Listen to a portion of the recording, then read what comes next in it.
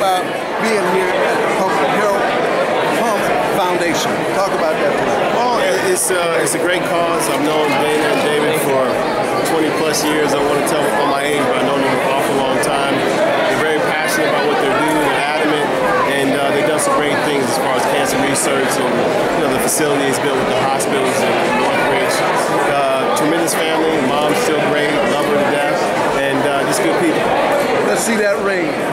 Royce is weird. Look, look at this ring. You got to get that ring on the camera. Yeah, yeah. Wow, talk about that. It was a great experience. After 17 years of playing Major League Baseball, to uh, win the World Series with Boston my last year was a thrill. You know, something I always cherish. Although I was there half the season, you always take what you can get. You know, I worked hard for it. And, uh, It was a blessing. wasn't it? absolutely, absolutely, good way to go out.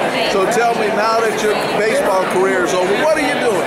How are You you? know, I'm doing some wealth management strategies for athletes uh, to help protect their, a- their assets uh, well after they're done playing. Partnered with Fort Wood Capital out in New York, and uh, I'm heading up the sports management side of the company. So just trying to give back in that, that capacity. I think it's uh, something that will help. Well, give yourself a shout out. This is Gary G with Inland Valley News, and we Royce Clayton, and uh, we're doing our thing. Fort Wood Capital Management, uh, assets across the world, New York. All right, thank you. my brother.